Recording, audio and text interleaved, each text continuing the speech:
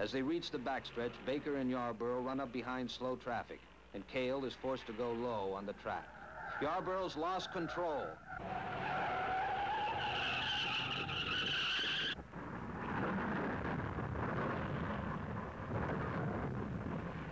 The fans scatter as Cale Yarborough steered away from the traffic toward the track apron. He's all right, getting out of the car. That was one of the wildest rides ever seen on this track. Let's try to understand how it happened.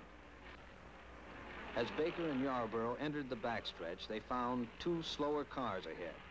Baker stayed up near the fence, but Yarborough dived low on the track to avoid the traffic.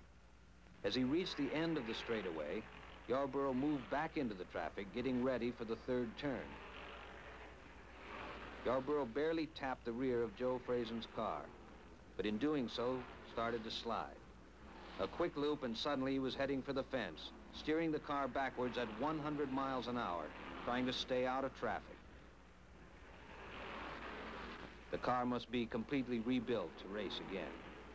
Suddenly, a prime crew is out of it.